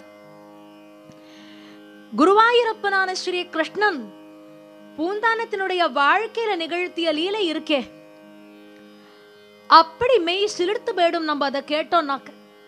ஸ்மரிக்கிறதுக்கே அவ்வளவு இப்படியும் பக்தியோட இருக்க முடியுமா? இப்படியும் கிருஷ்ணன் வந்து நடந்துக்க முடியுமா? அப்படின்னு சொல்ற அளவுக்கு அவருடைய சரித்திரமானது இருக்கும். பூந்தானமானவருக்கு கல்யாணம் ஆறுது. கல்யாணமாகி ரொம்ப வருஷத்துக்கு அவருக்கு குழந்தைகளே கிடையாது. ரொம்ப குழந்தை இல்லைங்கிற கிளேஷம் இருந்துட்டே இருக்கு. குருவாயூரப்பனை தவிர வேற தெரியாது. அதனால தினம் குருவாயூரப்பனை போய் தரிசனம் பண்ணுறது எனக்கு ஒரு நல்ல குழந்தைய கொடு புத்திரனை கொடு புத்திரனை கொடு புத்திரனை கொடு. அப்படின்னு சொல்லி பிரார்த்தனை பண்ணுவாராம் குருவாயூரப்பனிடத்துல. அப்போ குருவாயூரப்பனுடைய ஒரு அனுகிரகத்தினால ரொம்ப வருஷத்துக்கு அப்புறம் அவருக்கு சந்தான பாக்கியமானது ஏற்படுறது. நல்ல அற்புதமான ஒரு ஆண் குழந்தை பிறக்கிறது. இப்போ இந்த ஆண் குழந்தை பிறந்த உடனே என்ன பண்றார்? ரொம்ப வருஷ காலத்துக்கு அப்புறம் பிறந்திருக்குங்கிறதுனால அந்த குழந்தைய அப்படி வளர்த்துட்டு வரார். அந்த குழந்தைய விட்டு பிரியறதே கிடையாது. எந்நேரமும் குழந்தையோடயே இருந்துட்டு இருக்கார். அந்த குழந்தை என்ன பண்ணினாலும் அதை ரசிச்சுட்டு இருக்கார் இப்படி காலை உதச்சதுன்னா அதை பார்த்து சந்தோஷப்படுறார். அது இங்குன்னு பேச ஆரம்பிச்சதுன்னா அதை பார்த்து ஒரு சந்தோஷம். இப்படியே அந்த குழந்தைய நினைச்சுண்டே குருவாயூர்ல இருக்கிற குழந்தையருடைய சிந்தை கொஞ்சம் குறைஞ்சதான் இவர் இவருக்கு பிறந்த குழந்தைக்கு ஒரு வயசு. ஆயுஷ் ஹோமம் பண்ணணும். அன்னைக்கு எல்லாம் அவளுக்கு சொல்லக்கூடிய சொந்தக்காரா பந்து மித்ராதிகள் எல்லாம் வந்திருக்கா. கார்த்தால நேரம் எல்லாரும் வந்துட்டா அப்படிங்கிறதுனால அவருடைய மனைவி என்ன பண்றா? அந்த குழந்தைய குளிப்பாட்டி அலங்காரங்கள் எல்லாம் பண்ணி தூங்க வச்சுட்டு ஒரு ஓரமா அந்த குழந்தைய போட்டுட்டு அவ வேலையை பார்த்துட்டு இருக்கா. அந்த மாதிரி சமயத்துல என்ன ஆறுதுன்னு பார்த்தா இந்த ஸ்நானம் பண்ண வரவாள்லாம் இருப்பா இல்லையா? வந்து கார்த்தால இறங்கியிருப்பா. வந்த உடனே போய் ஸ்நானத்தை முடிச்சுட்டு வருவா. இருட்டு நேரம் காலங்கார்த்தால விடியறதுக்கு முன்னாடியே குளிச்சுடுவா வாழலாம் அப்படி ஸ்நானம் பண்ணவாள்லாம் என்ன பண்றா? அதுல ஒருத்தர் பாக்குறாரு இந்த ஈர வஸ்திரத்தை எங்க போடுறதுன்னு தேடினாராம். சரி ஒரு ஓரமாக போடுவோம்னு சொல்லி குழந்தை இருக்கிறத பார்க்காம ஓரமாக அந்த குழந்தை மேலேயே இவர் ஈர வஸ்திரத்தை போட்டுட்டார். இப்போ என்ன ஆறுது? பொதுவாகவே ஒருத்தர் வஸ்திரத்தை ஒரு இடத்துல போட்டுட்டானா அடுத்து வரவாள்ல அதை பார்த்துட்டு ஓ அதுக்கான பிளேஸ் இதுதான் போல இருக்கு அப்படின்னு சொல்லி அவாவா அவாவா வஸ்திரத்தை அங்கே போட்டுட்டு வரான். இப்போ என்ன ஆகுது? ஊருக்கு வந்தவா எல்லாம் குளிச்சுட்டு வந்து அந்த ஈர வஸ்திரத்தை குழந்தை மேலேயே போட்டிருக்கா? குழந்தை அங்கே இருக்குங்கிறது யாருக்குமே தெரியல. திடீர்னு காது குத்துற நேரம் வந்த உடனே குழந்தை அழிச்சுட்டு வாங்கன்னா அந்த அம்மா குழந்தை எங்க எங்கன்னு தேடுறா. அவ போட்ட இடத்துல வந்து பார்த்தா துண்டு தான் இருக்கு. அப்ப குழந்தைய யாரோ தூக்கின்ட்டா போல இருக்கு. யாரோ வச்சுட்டு இருக்கா போல இருக்குன்னு தேடு தேடு தேடுன்னு அத்தனை தேடி இருக்கா அந்த குழந்தை கிடைக்கல. வயிறு பத பதக்கிறது அடாடா நம்ம போட்ட இடத்துல துண்டா குமிஞ்சிருக்கே ஈர வஸ்திரங்களா குமிஞ்சிருக்கே. அங்க குழந்தை இருக்கப்படாதேன்னு நினைச்சுட்டே போறா. ஆனா அந்த வஸ்திரங்களை விலக்கினா சில்லிட்டு போய் மூர்ச்சை இல்லாத உயிர் துறந்த குழந்தை அப்படி தெரியறது குழந்தை கண்ணிக்கு தான் பிறந்த நாள். ஒரு வயசு ஆக போறது காது குத்தலாம்ங்கிறச்ச இப்படி ஆயிடுத்தேன்னு கதர்றாளாம் அத்தனை பேரும் கதர்றா. பூந்தானம் பார்த்தார் துக்கம் தொண்டை அடைக்கிறது அவருக்கு. ஆனால் அந்த இடத்துல அழக்கூடாதுன்னு என்ன பண்றார்? அத்தானா துக்கத்தையும் அடக்கிண்டு நேர குருவாயூரப்பன்ட்ட வந்தாராம். வந்து கேக்குறார் என்னப்பா இத்தனை காலமா உன்னை வந்து நான் பார்க்கலங்கிறதுனால கொடுத்த ஆனந்தத்தை கொஞ்ச காலத்திலேயே எடுத்துட்டியா என்கிட்ட இருந்து அசந்துருவேன்னு பாக்குறியா? அந்த குழந்தை இல்லைன்னா இல்லை என்னப்பா இனிமே எனக்கு நீதான் குழந்தை. நீதான் எனக்கு எல்லாமே இனிமே உன்னை விட்டு நான் எங்கேயும் போக மாட்டேன் அப்படின்னு அந்த வைராக்கியத்துல அவருக்கு ஒரு பாட்டு வருது. அதுதான் ஞானப்பானா அப்படின்னு பேரு. பாட் ஆஃப் விஸ்டம் அப்படின்னு இங்கிலீஷ்ல சொல்றது. இந்த ஞானப்பானா முழுக்க முழுக்க முழுக்க தத்துவார்த்தங்கள் அதில் அவர் பகவான் குருவாயூரப்பன்ட்ட தான் கேட்குறாராம் அவர் சொல்றார் குருநாதன் துணை செய்க சந்ததம் திருநாமம் என் நாவின் மேல் எப்பொழுதும் நுட்டர் எப்பொழுதும் குருவினுடைய அனுகிரகம் இருக்கணும் உன்னுடைய திருநாமம் இந்த நாக்களை இருந்துட்டே இருக்கணும் எனக்கு வேற ஒன்று வேண்டாம் குருவாயிரப்பான்னு கதறினாராம் அப்ப சொல்றார் ஆ ராம்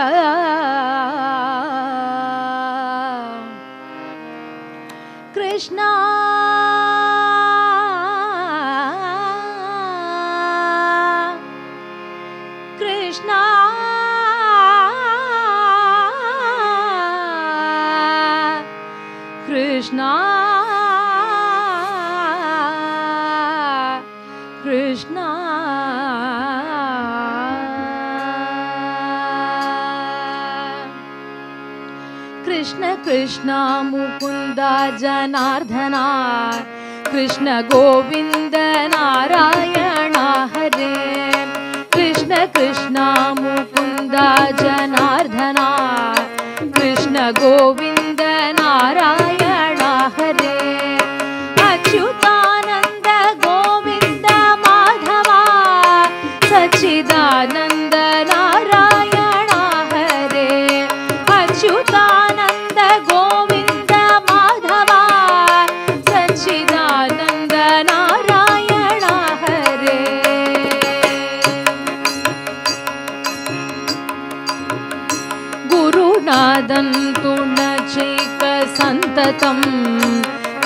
நாமங்கள் நாவின் மேல் எப்பொழும் குருநாதன் துணச்சேக்க சந்ததம். திருநாமங்கள் நாவின் மேல்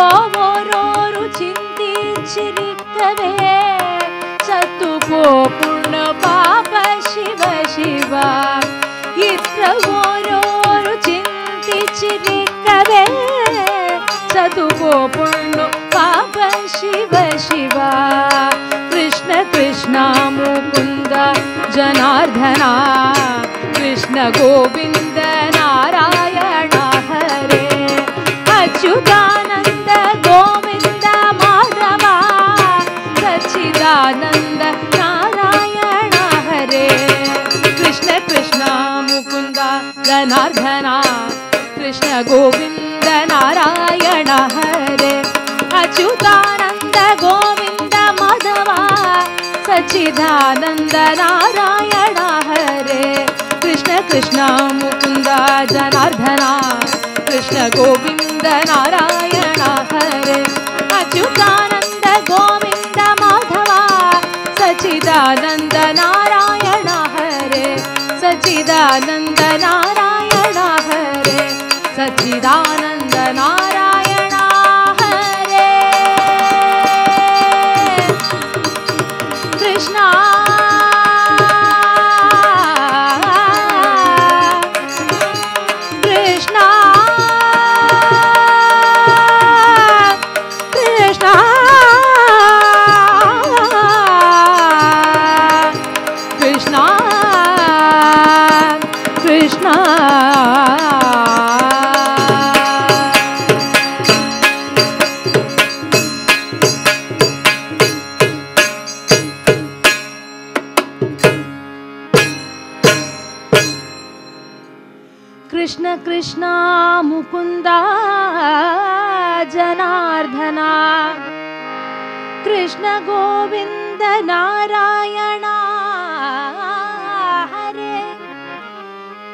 பாடிண்டே வரார் கிருஷ்ணா கிருஷ்ணா கிருஷ்ணான்னு பாடிட்டு இருக்கார் ஒன்ன விட்டா இனி கதி இல்லைன்னு பாடிட்டு இருக்கார் திடீர்னு கொஞ்ச நேரத்துல ஜல் ஜல் ஜல்னு ஒரு சத்தங்க சத்தமானது கேட்கறதா இவர் கண்ணை மூடிட்டு இருக்கார் அந்த சலங்க சத்தம் கேட்டபோது கூட கண்ணை மூடிண்டே இருக்காரா?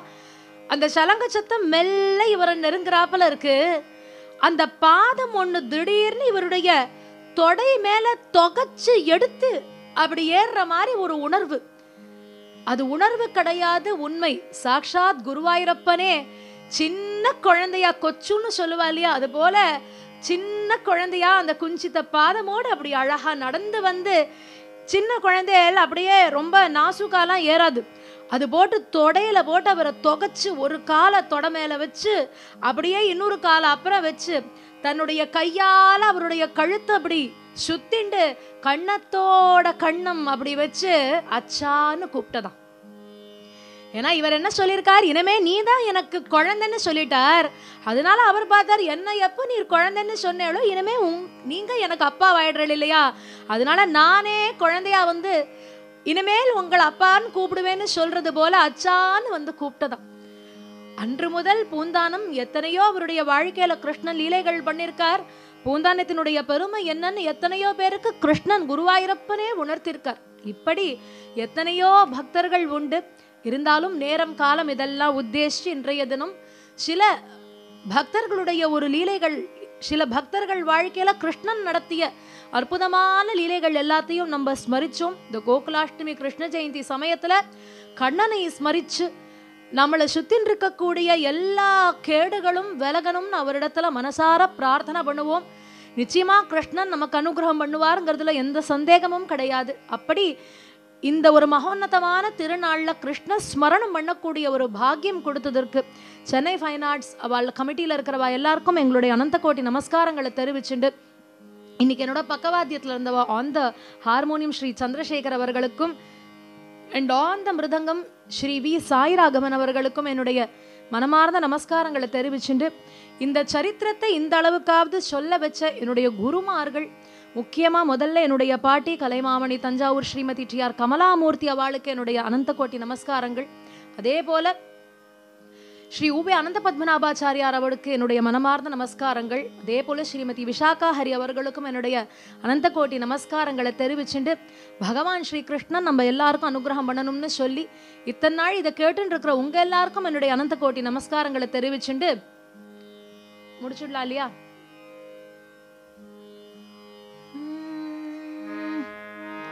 மங்களம் பாடலாமா இல்ல எப்படி உங்களுக்கு? பாடலாம். உம்,